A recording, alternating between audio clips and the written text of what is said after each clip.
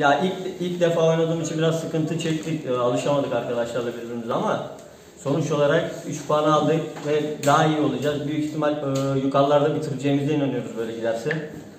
E, biraz geç başladık ama toparlayıp şey yapacağız yani arayı kapatacağız. Sizden alalım. İddialıyız. Arkadaşım doğru söylüyor. Ee, sonradan katıldık turnuvaya ama turnuva güzeldi. Ee, takımca sonradan açıldık.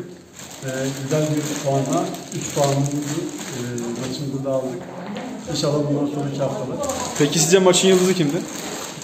Özcan Çakır olarak düşünüyorum. Bir de garip Sizce maçın yıldızı kimdi? Bence maçı çözen adam e, Garip Dede'ydi. E, yanına ek olarak Hüseyin arkadaşı söyleyebiliriz. Öncan, Öncan arkadaşımız çok iyiydi ama Öncan biraz bencil oynadı.